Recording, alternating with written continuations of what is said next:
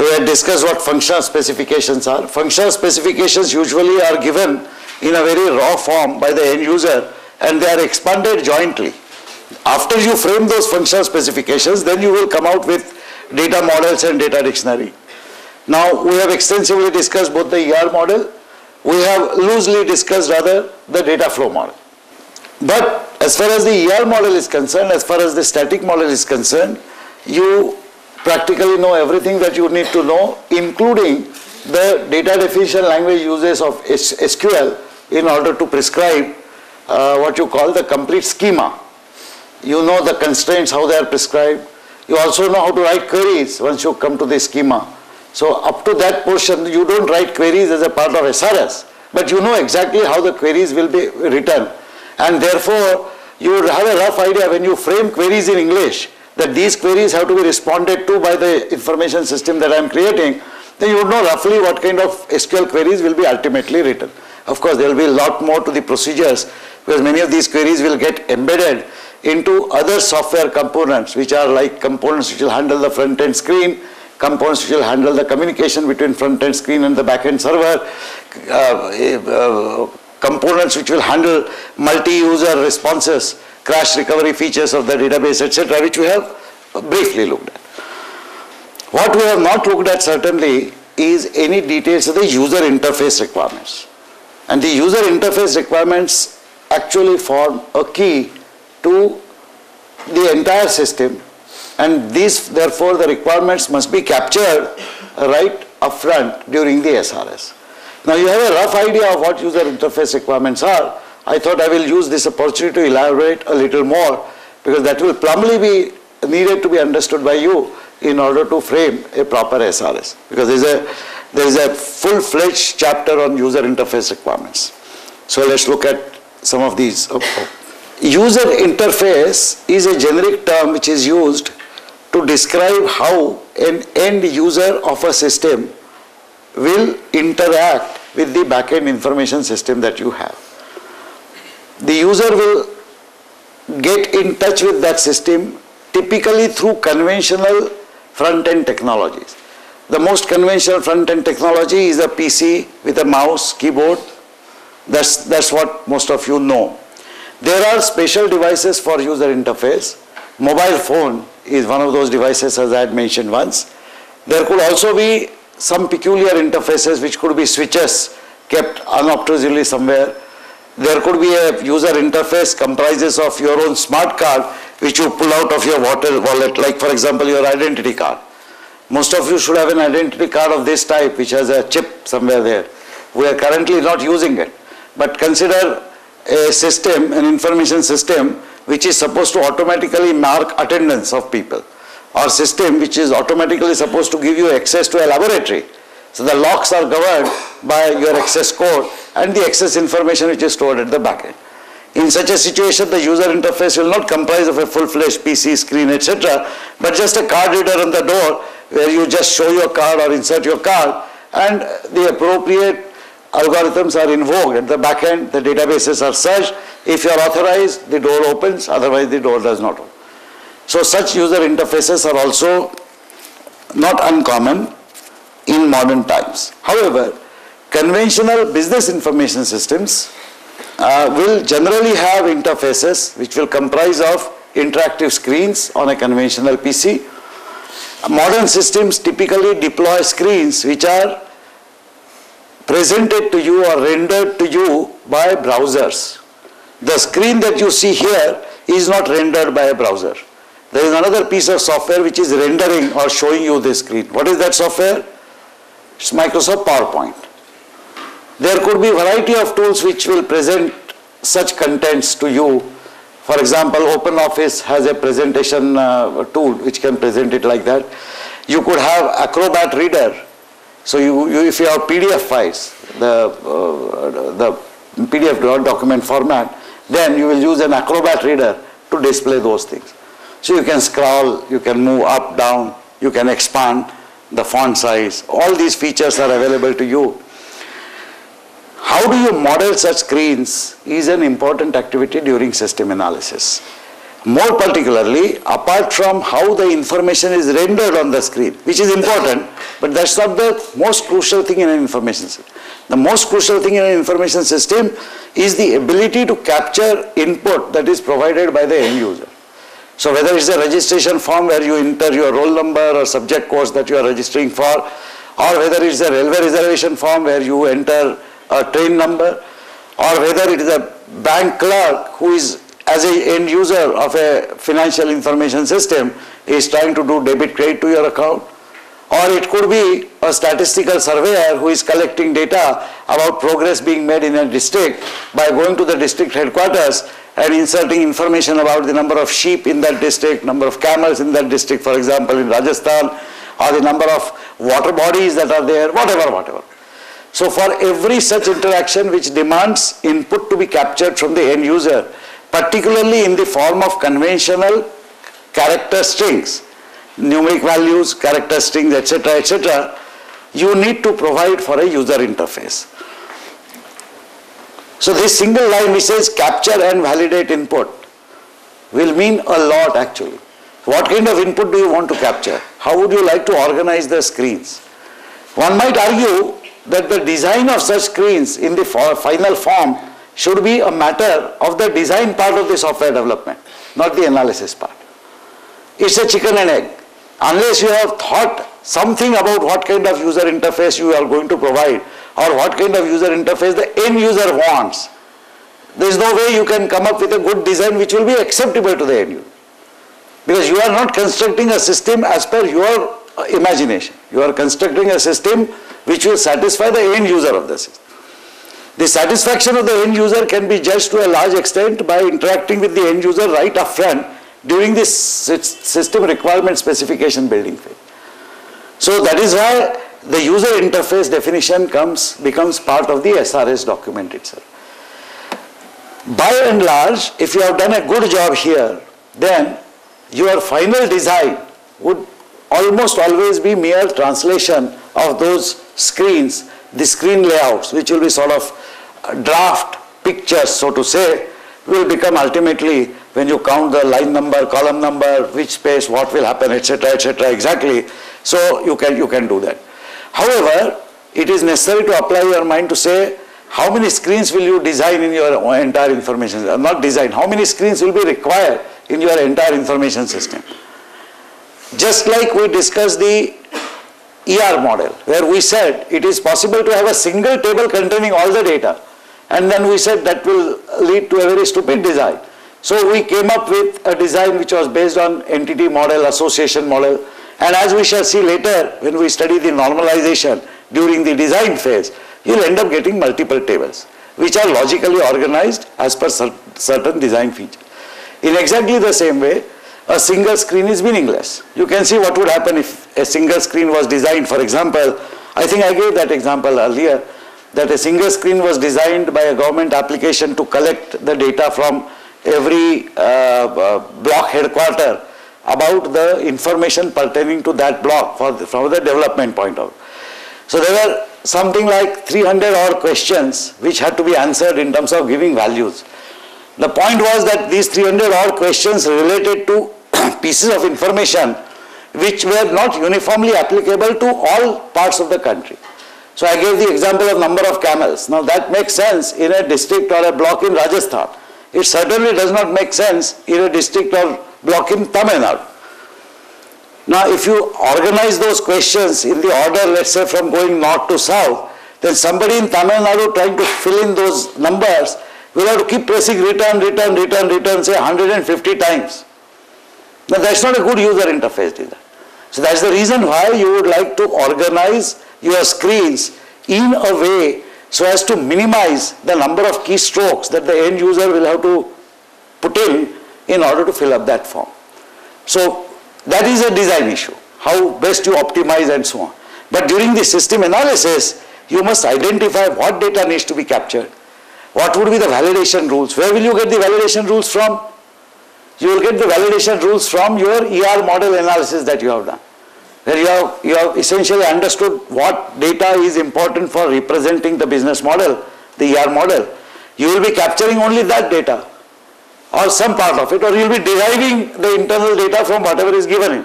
And therefore, all the constraints that you have put in your ER model will have to be validated there. And you will have to write whenever you give an input screen saying this data will be captured. For example, hostel number will be captured in certain field in a screen. Then you have to additionally write there that the hostel validation, hostel number validation rules will have to be implemented when this data is being captured. Now you might either make a reference to the hostel validation rules that have been stated in your ER model or you may rewrite them again.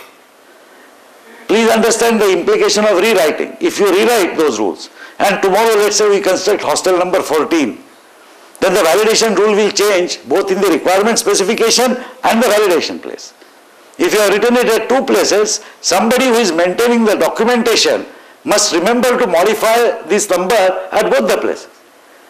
So rather you make a reference to one place and say the same reference is valid. However, in case the number changes to 14, then the maintenance of application software which by then has been constructed and let's say people are using it will have to involve that this rule has to be implemented at this validation, at that validation, at that place, all the places the necessary software changes will have to be made. These are the responsibilities of information system designers and implementers. So let's quickly look at the capture and validation of input kind of screens and the query retrieval kind of screens. There is an additional thing which, eh, which I am implying in the query retrieval. We might in fact want to write it. That is the menu options screen. Typically an information system, when it comes first, it will say, it will ask you what you want to do. It is unlikely that it will directly take you to some data entry screen. It will say you want to, let's take railway reservation system. So do you want to just see the timetable? Do you want to see which trains ply between two stations? Or do you want to actually reserve a ticket? Because when you want to reserve a ticket, by that time you know exactly which, are, which, are, which is the train that you have in mind, on which date, which class, and you have verified earlier whether indeed that train runs with that class accommodation on that day or not, for which there might be other option. The option to an end user within the railway department could be different. He might be wanting, for example, to prepare a chart which has to be pasted on each bogie of a train, saying in this bogie, following people will travel on this date from say Mumbai to Amritsar, whatever. So the requirements would be different. Accordingly, the menu options will have to be designed differently for different people. And even there would not be a single menu typically for a large system. There could be multiple menu options. Usually the way information systems are engineered is the moment you log in, because there will be security to any information system, the moment you log in, the options which are most relevant to you will appear automatically. So if a clerk logs in from the railway department, the options that that clerk will see will be different. If an end user like you and I log in, the options that you will see will be different. At what point would these options get decided? They will get designed during the design phase, but primarily they get decided during the system requirement identity. And that is the importance of uh, identifying the user interface. So let us look at, uh, uh, let, us take a design of, with, with which you are already familiar, a design exists for the academic system. Uh, you are all familiar with that you can log in using your LDAP login ID onto the institute system, right? The ASC system. What is the screen that you see generally on that system?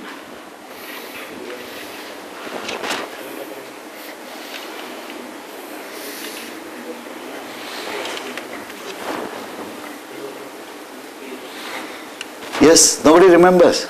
After login. Yeah, after login. Course registration adjustment. Course registration adjustment. Is that the only thing option that you get? Huh. Yes. You will find that that screen is not presented to you as option 1, 2, 3, 4, 5. These are just things which are listed there and there is actually a uh, what you call a uh, HTML, a hyperlink. In that sentence, there is something, a hyperlink which you can see in blue typically. You click on that link and you go to that choice. That's modern way of giving out menu. The earlier uh, way of giving out menu was, it will say some such and such system, let's say hostel management system or something like that. So hostel management system. And here, after you log in, you will typically get choice 1, 2, 3, whatever. And here you will have to choose one of these things and press enter. So this choice will say you want to know all the inmates of the hostel. So search for students in the hostel. Second one will say give me the mess bills of last five months. The third one might say get me the canteen bill. Whatever, whatever. Okay. In fact, if there are multiple things that the information system does for you, the menu choices will say uh, number one choice will be about inmates. Number two choice will be about accounts. Number three choice will be about uh, whatever, uh, political organization within the hostel, etc. Some such thing. So you categorize the multiple menu options based on the units of activities that you do and you give this as the first menu. If you press 2 for example and press return here, you will be taken to another menu. So this may be accounts menu. So it will say hostel management system and within that it will say account subsystem. And within the account subsystem again you may have one, two, three, four choices or whatever. One of the choices may be for the mess coordinator who is supposed to feed in the extra amount that is to be charged to every individual inmate. So now when he presses that choice, you might want to present him with a screen which will show all the 350 or odd students who are staying there and then against each one that fellow can say uh, two breakfast additional or one lunch additional, whatever, whatever. How you decide to design that is a matter of great application of mind so as to minimize the uh, number of keystrokes that the mess coordinator or mess secretary or the hall manager or somebody will have to enter. But that's, that's a matter of design. Initially at the SRS stage you have to identify that I will require such a screen. So these are examples of menu screens. There would be an example, suppose as I said, you press 2 here and you will be guided to a data entry screen. Let's say this data entry screen permits you to enter for each individual student the additional mess charges that are to be paid by that student. In which case, what you will have will be something like a roll number here. You would expect that the moment you enter the roll number, the name of the student, the room number, etc. should come automatically.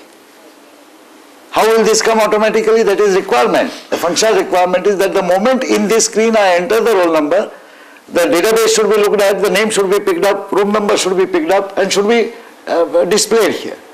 Then I will say whatever, I might have something like extra amount to be paid this month. And this is where I will enter data. After I enter data, I will expect that this data entry is captured, validated and is inserted into an appropriate table in my database. So that subsequently when I try to generate a report for actual mess bill, from this table the extra amount will be taken, from some basic bill calculation some basic amount will be taken and for each student in the hostel the total amount will be displayed. So you can see basically things are not very difficult but things have to be thought of very carefully. Okay. Would you re really like to put an extra, extra amount directly or in the context of hostel would you like to put that in this month the fellow had two extra breakfast, one extra dinner, three guests, whatever, whatever. In whichever way the raw data is available at that point in time is the best way in which you should ask for capture. If you ask the end user to do any calculation and then enter the final results, then the end user will definitely ask you this question, why the hell do I have a computerized system if you want me to multiply the number of breakfasts by this bill or whatever. What. So as far as possible you must capture raw data which is routinely available in the conventional system. Not a raw data which you think is important but which does not exist. Needless to add, such a hostel management system application would be written only once in the institute, but it may have to be parameterized if it has to be implemented in each of the hostels. For example, if I am from hostel number 3, I would like hostel 3 to appear on my top screen itself. But if I am hostel 4 and I am running the same application, I would like hostel 4 to appear. Similarly, I would like inmates of hostel 4 to appear in my de detailed work.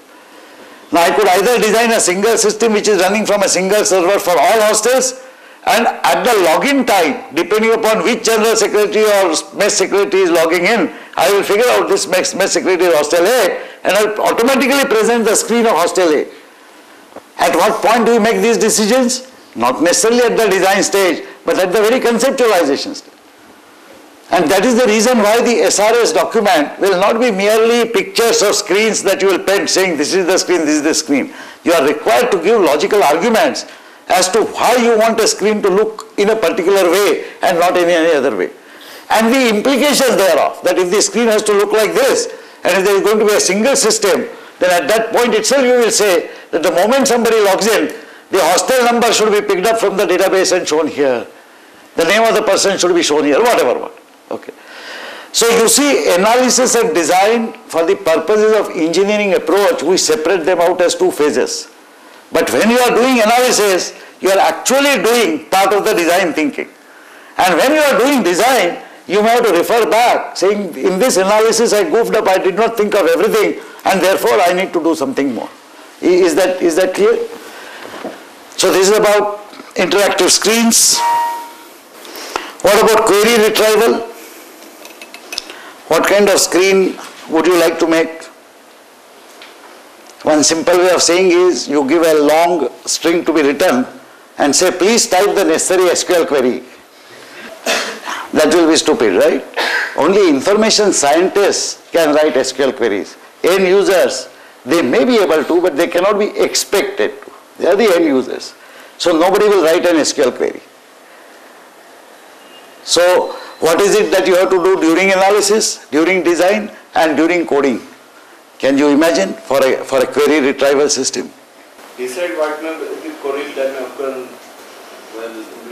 Yeah, so what kind of queries can you ask? Consider the academic system.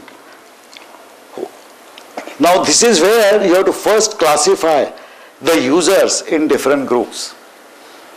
For any application system, such as academic office system which, with which you are familiar, you can easily see three kinds of users. One are the true end users. For an academic system in IIT Bombay, the end users comprise of students and teachers and TAs. These are end users. Then there are academic office functionaries.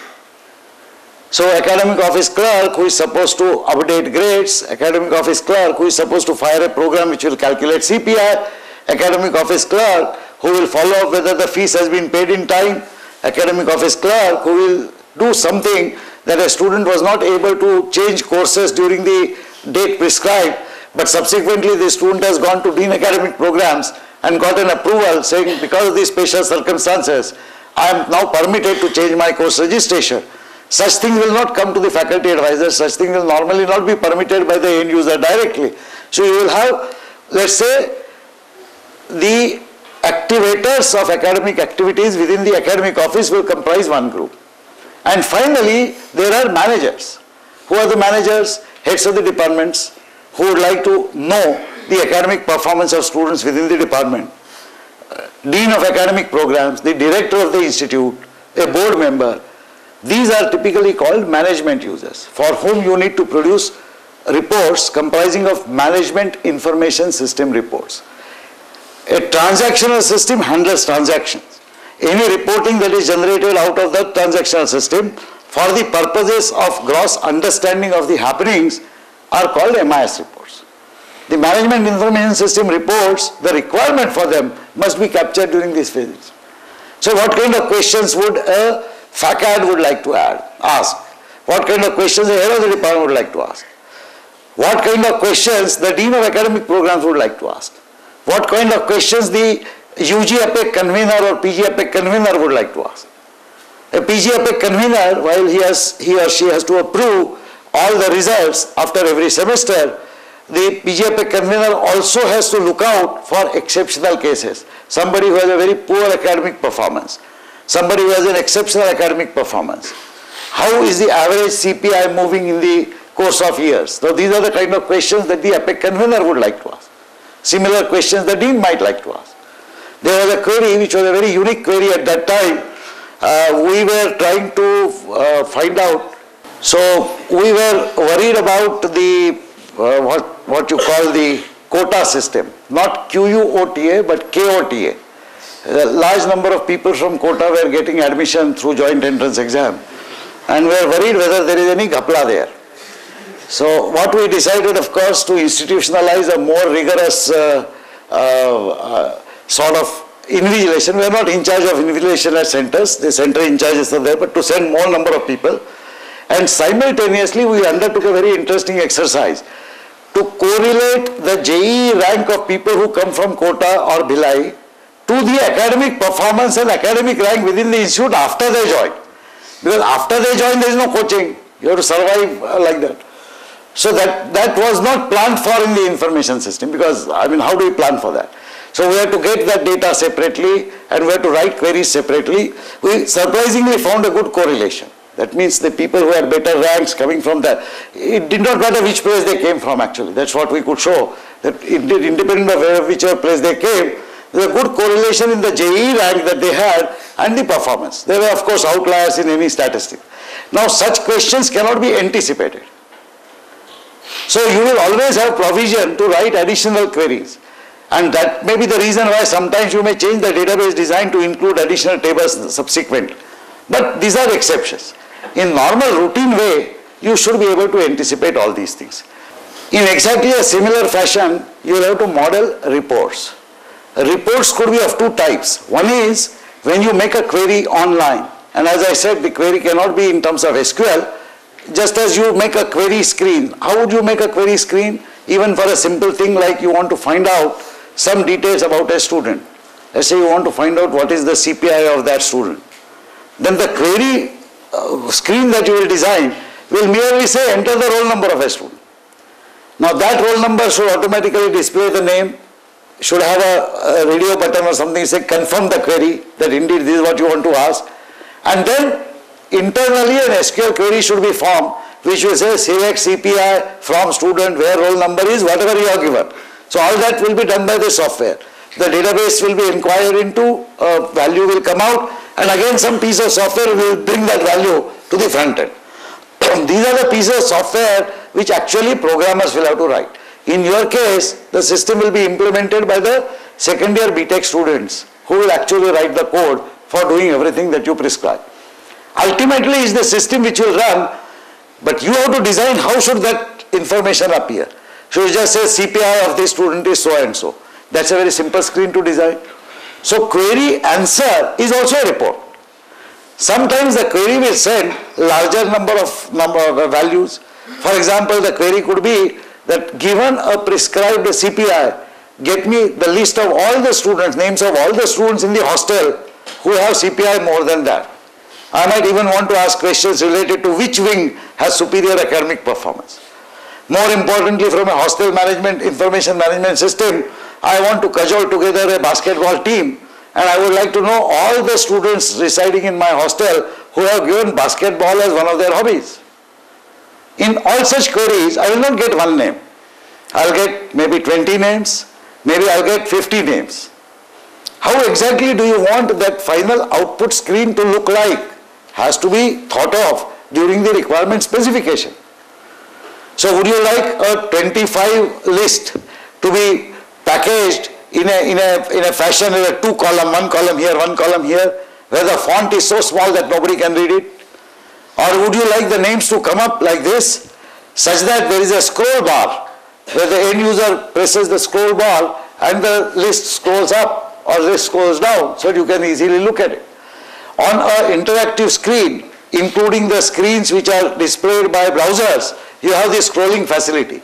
But if you need a printed report, that printed report has to come on a piece of paper. What should be the size of paper? What should be the size of font? In which way that information should be organized? Now this is a requirement specification. You can't just say in your SRS document that a report comprising of all the passengers traveling by each train for each bogie will be produced. That's not, that's not specific in the report. How will the report look like? So it will have a bogie number, it will have a train number, it will have class of accommodation, it will have date of travel, then it will have some list, it will show wait list separately, it will show from which station to which station, who is traveling, etc., etc., etc. Okay. you will notice that the age of the passenger is not written in such a printout. Do you know why?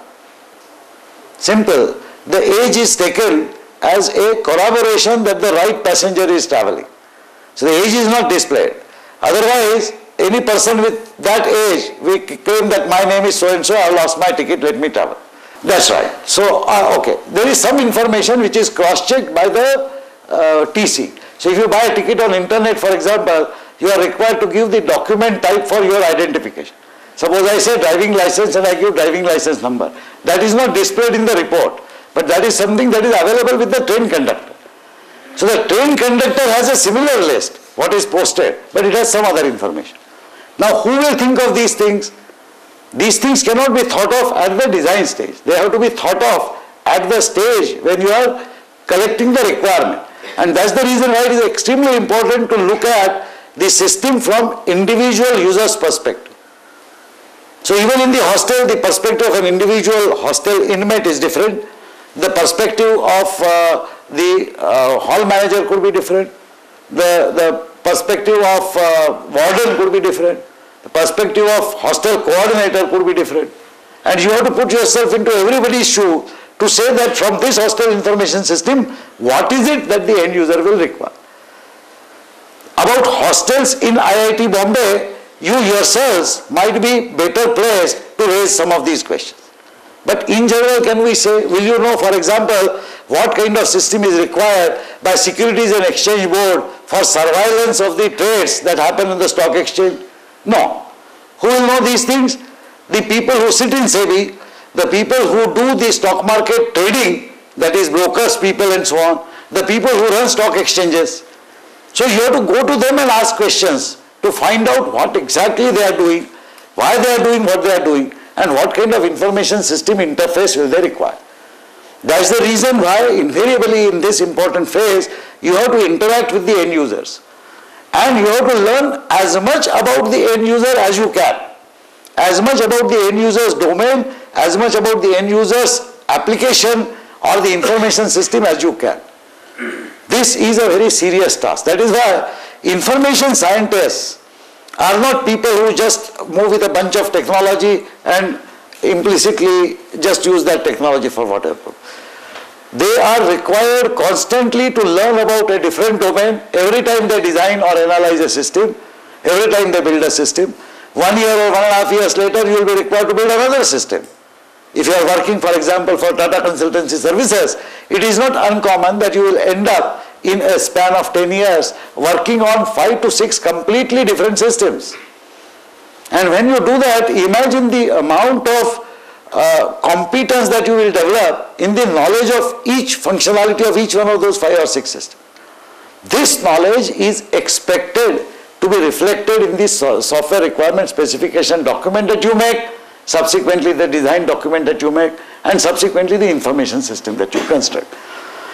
There are actually books, uh, old style system analysis books, which in fact tell you how to conduct interviews. So let's say you are, you are working on a stock exchange system. You don't know anything about stock exchange. First you will be required to read about what are the normal operations of a stock exchange. Then after familiarizing that, you will formulate a set of questions from an information system perspective that you would like to ask the executive director of stock exchange, the individuals who manage the systems there, what kind of uh, information requirements are there and so on. And for that, what kind of interviews you should conduct.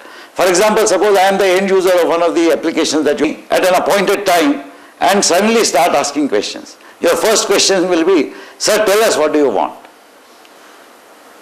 Now I tell you, I, I am not an information scientist. I do not know from what angle you are asking me these questions. What is the purpose of these questions? I will generally describe in a philosophical manner what I want. That is not adequate for you. You will go back and you will, you will be less wise than what you were before. So you have to prepare a background paper before you conduct an interview. Then you have to send that paper to the end user saying, I want to meet with you, but I want answers to these questions. So the end user is ready with the answers. If the end user does not understand some questions, that end user can send back an email or a document to you saying, I don't understand what this, this or this means. Then you are required to elaborate. Please remember that the interview time is a very short time of 15 minutes, half an hour or whatever. And during that half an hour, you want to achieve a lot of in useful information exchange. The preparation for half an hour interview could easily take about one, one and a half hour on your part and could easily take at least half an hour of pre-preparation by the end user whom you are interviewing. These are not trivial matters. These are typically stated in large system analysis processes and procedures. But for you to understand this, you have to practice this thing. How do you practice this? In a, in a class setting, how do you practice this? I am sure you would have asked some questions to Samir Sahasrabudhe then. Okay. Whenever you are designing completely new information systems which did not exist at all, then there is a lot that evolves while you do not only analysis but design and even building. So when you build a system, people will come up with additional requirements. And as I said earlier, this is common for all information systems. But when you have existing information systems which are to be migrated with additional functionality, then the end user is also able to answer you questions in a better fashion. The uh, important question to us is how do we simulate that environment here? I have tried to do that in two ways. One is to expose you to uh, uh, Sahasrabudhe on one hand and Professor Krithi Ramamritham on the other so that you can have at least that first interaction. But beyond that, you will have to create group interviews within yourselves and practice this. So for example, there is a group of four people, right? Now, you can, within your own group, you can say, all right, you will act as a user and I will act as an information system analyst. And I will interview on these, these facets. So you actually time it. You say 10 minutes interview. But before that, whatever is the preparation, so you email the set of questions, then that person thinks about those questions, and if that person can answer those questions, you say, I can answer all of them, or I don't understand this question. Now, this is an exercise in information system analysis. This is not an exercise in SQL programming, but this exercise is as important as SQL programming because if this exercise is not done, some questions will remain unanswered, some questions will not occur to anybody, but they will have an uncanny propensity of surfacing later after you have built that system. So that is why this has to be done. Report modeling, as I mentioned, contents and format is an important aspect. More importantly, whether the reports are to be produced on screen or whether the reports are to be produced on printer. You would see that you would, each one of you gets a, a uh, grade report at the end of an examination. Uh, I don't know how the grade report is printed now. It's a, it's a smaller piece. Is, is it a pre-printed stationery or it's an ordinary paper on which grade report is printed? So there is something which is already printed. Now you can see the possible problems. The already printed things means that there are exact spaces wherein the variable information must come. Your roll number, your name, course code, grade, etc. must come and sit there. If it is printed half an inch on this side, the whole report will look like rubbish. So which means that the person who writes programs to generate that report on the printer must know exactly which line number, which column number, what information has to come. And the printer itself must be aligned properly with the printing stationery before you start printing. Nowadays things are much simpler with uh, let's say A4 size papers getting printed through uh, laser printers. You can actually have pre-printed stationery and still make sure that exactly at that place the printing occurs. It is not necessary many times to have any pre-printed stationery because a laser printer is a page printer and it can print the entire page in the same time that it takes to print even smaller pieces of value. But in large either dot matrix printers or line printers such is not the case. The amount of information to be printed decides the throughput of the print. Imagine for example refund checks that are to be printed and sent. Take the uh, IPO that happened recently of RIL. Unfortunately, that stock is trading much below par, but whatever, some 50 lakh people are supposed to have applied. Nobody got the number of shares that he or she applied for. That means there is a refund amount that is to be paid back. As per SEBI rules, this refund amount has to be paid back in 10 or 15 days time. Imagine printing 50 lakh checks correctly, then putting them in some kind of an envelope folder, putting a postage stamp and mailing them. Please remember each one of these are, is an activity of an information system. Have you ever wondered how long it will take to put 50 lakh checks in envelopes, close them, paste a postage stamp, assume that the address is automatically written and put them in the post. Can you put 50 lakh things in any post box? You can't. How do you handle that? So you take so many things, there all, almost all these paper have to be sent under some kind of a proof. So which means the postal authorities must sign saying I received so many envelopes. How many envelopes? These are physical envelopes that are to be carried to the post office. They are to be received by a post office clerk and that post office clerk has to give you a receipt for each of the envelopes.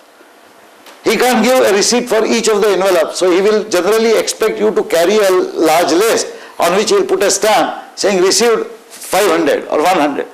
But each of these 100 or 500 have to be physically counted by that post office clerk and verified against the list that indeed that name is what you have been given. How long it will take to do this with 50 lakh envelopes? Do that as an arithmetic exercise you will find out that these are non-trivial issues and it costs money. You need to have people who will send.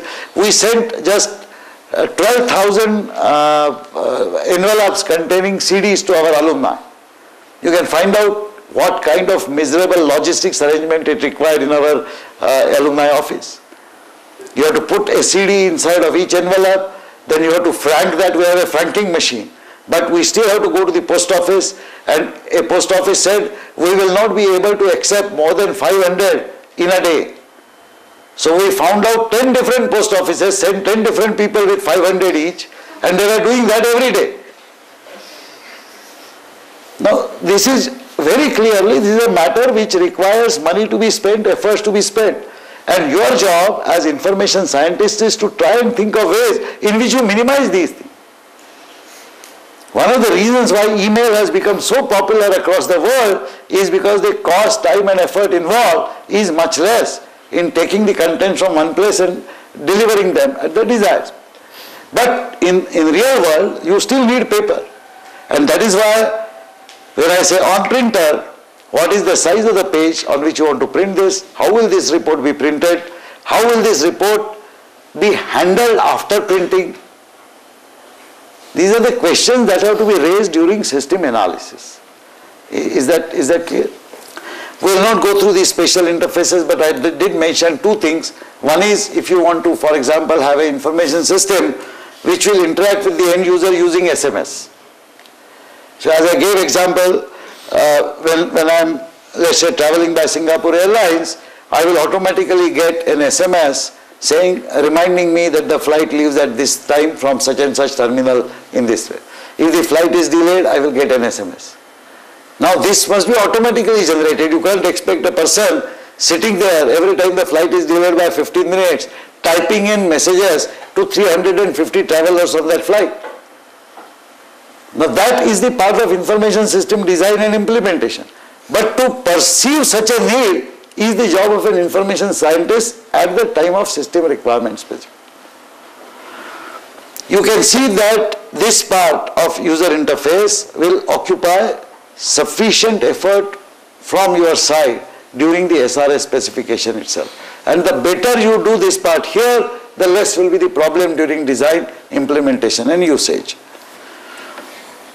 Screen and forms layout is what generally you will include in the SRS. How will the screen look like? How will the forms look like, data entry forms? But what you will also include in the SRS is which are the source and target stores.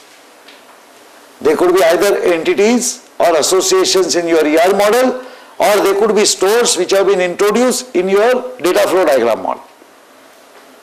You remember the data flow diagram uh, where you have this notion of a store. Now a store can be introduced which holds the information in a transient fashion. Input information comes like this, it goes into a store. After two or three processes, that information is consumed and put in your regular database table. So it is not necessary that all the tables that you have described in your ER model are sufficient to capture all the stores requirement. There could be some stores which will be required during the SRS phase itself, which you will identify. Ultimately, they will also have to be translated into some kind of table definitions. Then operational considerations. Ease of use, what we call user friendliness. One of the aspects is keystroke minimization. Minimum number of keystrokes required. Okay. If it is pure play keystroke and no mouse, then the, the number of uh, down arrows that you have to hit to go from the top of the screen to say seventh field if first six are useless. That is also to be counted. In general, it's not an easy task and you have really, really a good opportunity to apply innovative ideas in this design. The people I have found who are very good at this are, are people, for example, our industrial design center people who, uh, who work for the master of design. Okay, they understand the user interfaces much better. We actually have a professor there, Professor Anirudha Joshi, who had given a talk in this course on um, user interfaces, basically usability analysis. I will try and put those slides on the Moodle screen. You might want to look at them as to how user interfaces are. I mean, they, they go to the extent of saying that if there is a product, and if, a product like, for example, scissors. So if you are given a scissor, you automatically know how to use that scissor to cut paper or thing. You don't need to read a user manual. Okay. But suppose somebody designs, designs an extremely complicated and a beautiful scissor which cuts in a very fine way, except that it does not have two hands. It has five buttons. Now can you use that scissor without reading the manual? And even if you read the manual, the danger is always that you press a wrong button and you cut your thumb instead of a paper. So this usability is an extremely important facet of any information system, whether it is information system about a gadget. Consequently, there are a series of manuals that have to be written. User manual. How many user manuals have you read about any information system? If you like take software as an information system, or if you take any hardware as an information system, then you would have come across manuals, a TV user manual, or a PC installation manual, software installation manual. Notice that the quality of that user manual is decided by the end user depending upon the ease with which the ultimate objective is satisfied by following the steps given in that user manual. At what point do you write the user manual? In a classical approach to information system, you write the user manual at the time of design. However, much of the user workflow will have to be captured during the analysis phase in order to write a good design document. So you can see the kind of things that you will have to write under operational considerations. You will have to write some notes on how the workflow happens, how information moves from one place to another place. This identity of different groups of users has to be, has to be done, the identification has to be done during the SRS phases. I would conclude here by saying that the user interface part is an important part of the SRS document. And therefore writing a good SRS document, refining it and making sure that it captures everything that is of consequence